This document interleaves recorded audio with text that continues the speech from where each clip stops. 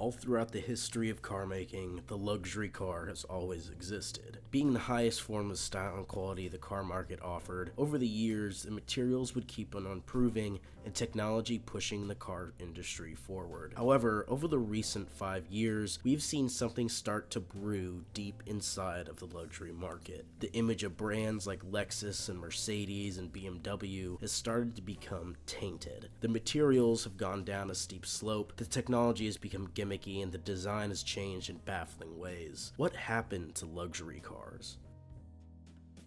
In 1989, a little company called Lexus would unveil their first luxury flagship sedan for the US market. From the second the American public first laid eyes upon the LS400, they were in love. Not only was the exterior the pinnacle of peak automotive design, but the interior was a step above Lexus's competitors, being purposefully engineered to be as comfortable and as silent as possible. Some writers would even have said that if the windows were blacked out, you wouldn't be able to tell you were driving at all. The seats were made from the most high quality quality leather, and real Californian walnut trim decorated the interior. The LS400 had heated seats, which at the time was a benchmark of the most expensive cars. Auto-off headlamps and power adjustable seatbelts were also present on this car, plus a digital display for air conditioning. All this in a car from 1989. The first generation of LS400 is considered to be the greatest luxury sedan ever made. The innovation that the LS400 brought to the luxury scene scene pushed other automakers to play catch up and showed Europe that Japan can make fancy cars too.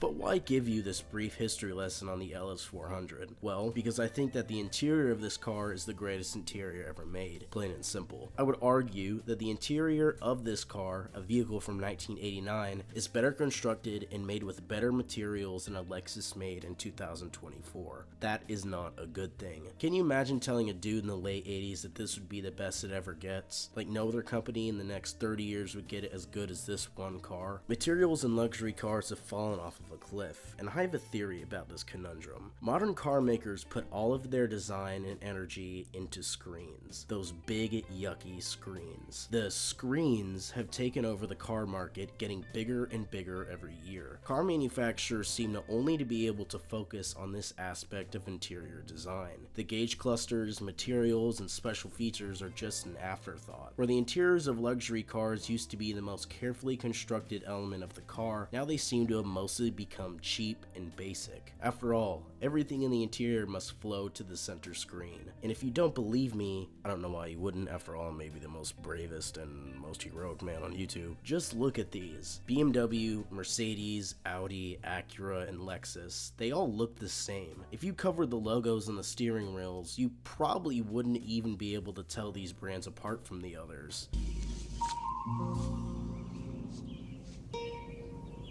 What the fuck is this piece of shit?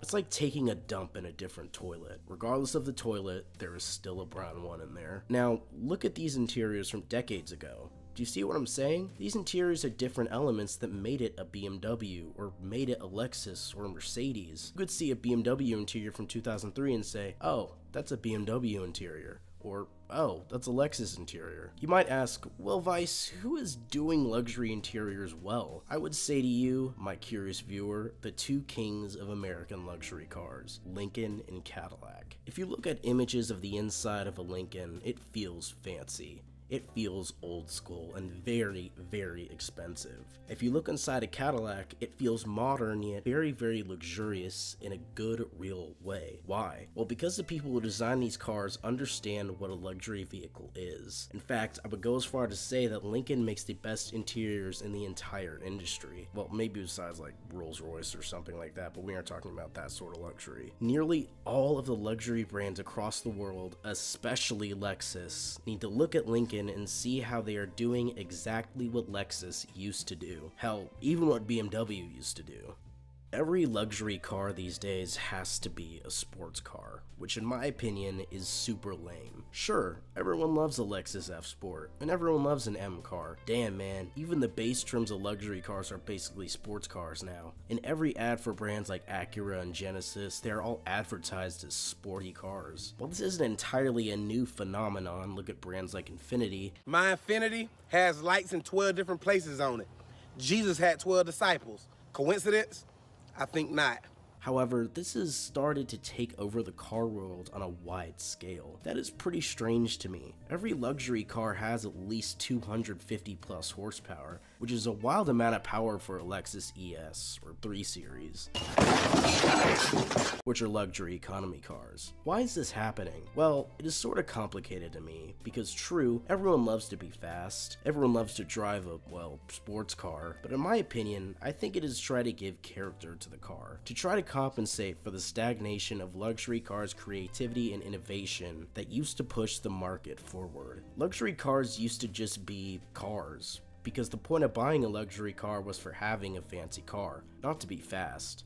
What the hell is even that? Plus, these new luxury cars are getting more and more expensive to fix because if it isn't twin turbocharged these days, well, you're falling behind the industry as a brand. I mean, look at these Genesis engines, an already not at all reliable Hyundai engine, plus it is now a twin turbocharged V6. So you got two turbos which are already affecting that reliability and a Hyundai engine. Seems like a disaster waiting to happen to me. This section of sportiness is probably going to get me a lot of comments because it sounds a little bit like I'm trying to make cars slower. Don't get me wrong, I love fast cars, and I do think that is a perfectly fine for luxury cars to make sports cars, but I don't like it when brands decide to make luxury cars fast in exchange for innovation and character.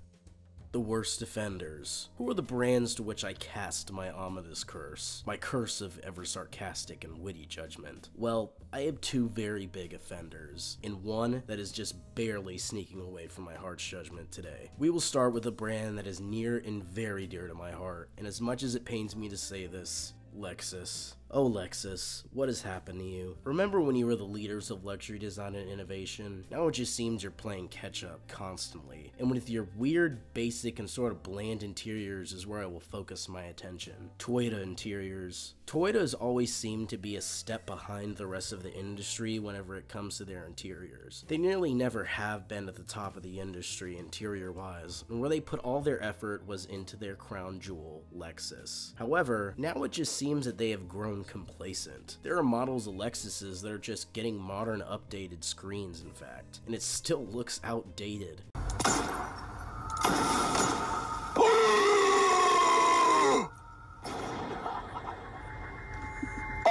Oh no! Get it together, Lexus. Also, please bring back the LS with a V8. Mercedes is sort of in a weird place as well. I'm not sure if you have all heard, but for seemingly the first time in the brand's history, Mercedes has a problem with complaints about cheap materials and loud squeaking plastic in their cars, which is not what you want from a car you spent 80 grand on. Plus, the screens in these new Mercs just look so bad. They're so horribly placed and just don't flow well together. Some cars do screens well, but Mercedes does not. Plus, Mercedes has slowly been falling in reliability year after year. And on reliability, this brings me to that little outlier, that sneaky company that is going to evade me listing it on this mini list of the brands that are doing the luxury cars the worst. BMW. BMW has slowly grown in reliability statistics, and that is not good for Mercedes at all, as Merc is directly competing with BMW. Being the brand that makes cars that break more is not a good thing. And while I have been critical on the channel about BMW interiors, I would say that they are getting much better. A more traditionalist classical luxury look is present in many modern Beamers, and that is a good thing.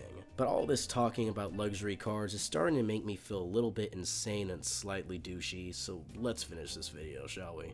Luxury cars have seemingly started to fall off in certain aspects. While I understand that this video is not as in-depth as I could have gone, I didn't really go that hard on luxury brands because, let's be honest, most people don't own any of these cars. I don't. I know you probably don't. But yeah, luxury cars have been in a weird identity crisis lately. I wanted to shine some of my bright, incredible professional opinion on this issue. It's just, I'm such a good guy. Thanks for watching. Also, my voice is still a little gone, so please don't comment about it.